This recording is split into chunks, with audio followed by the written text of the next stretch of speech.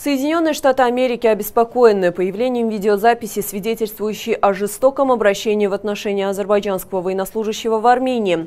Об этом говорится на странице посольства США в Азербайджане в Твиттер. Мы настоятельно призываем Азербайджан и Армению решить все нерешенные вопросы путем мирных переговоров, говорится в публикации.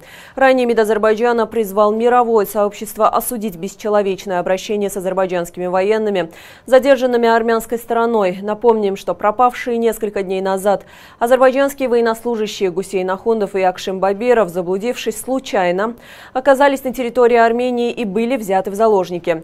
13 апреля 2023 года Минобороны Армении сообщила о задержании азербайджанского военнослужащего, и при этом в армянских СМИ распространились кадры, свидетельствующие об избиении и пытках Акшина Бабирова. По данным фактам, Генпрокуратура Азербайджана возбудила уголовное дело по соответствующим статьям Уголовного кодекса Азербайджанской республики республики.